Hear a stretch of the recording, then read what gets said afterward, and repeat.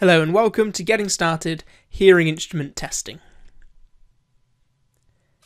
There are two main purposes for test box measurements in audiology clinics.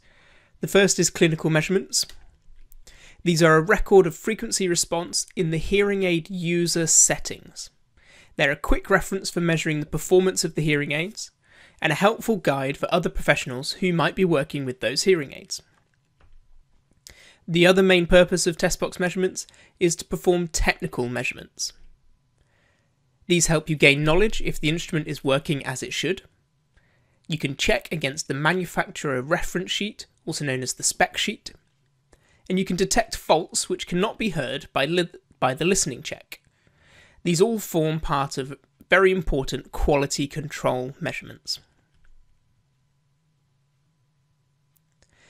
Perform HIT box measurements, you need a sound treated test chamber and loudspeaker, a coupler microphone and 2cc coupler or ear simulator, a coupler adapter. There are different styles of coupler adapters which we'll look at later on. And the reference microphone. The reference microphone helps to regulate the stimulus level. So looking in slightly more detail. Here you can see the reference microphone. And now the coupler microphone. This is the microphone that's actually picking up the measurements coming from the hearing aids. Mounted onto that, you have a 2cc coupler. You may also have an ear simulator. Mounted on there is an adapter. Here you can see the HA2 adapter also referred to as a BTE adapter. A different style of BTE adapter is the BTE-L. This is designed for power and superpower hearing aids, avoiding excessive leakage or standing waves. There is also the HA1 adapter. By using a small amount of acoustic putty, you can mount a custom hearing aid onto this coupler adapter. For slim tube and receiver in the ear style hearing aids, you can also use an adapter. This is a silicon sleeve which firmly and correctly holds the receiver or slim tube in the correct position in the coupler.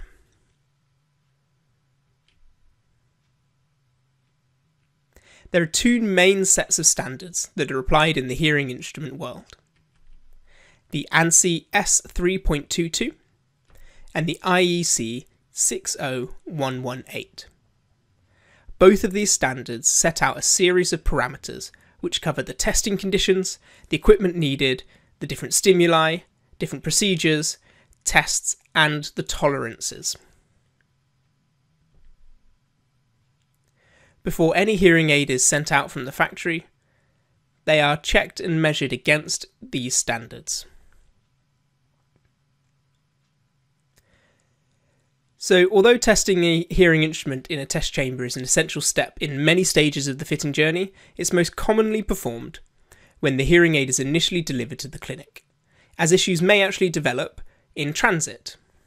This could be due to weather, temperature, or just the nature of transit. However, once a hearing aid is in the clinic, there will be many other points at which test box measurements will be made along the hearing aid journey.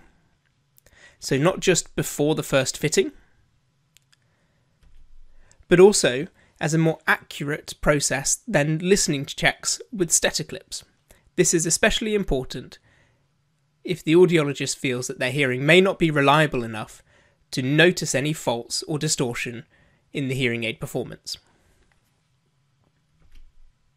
They are also commonly performed before and after repairs and also as accurate record keeping and for the reference of other professionals.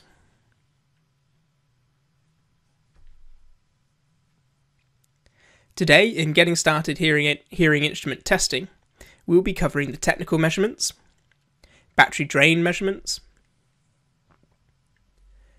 hearing loop system measurements, how to accurately measure slim tube and receiver in the ear hearing aids, and remote microphone or FM system measurements as well.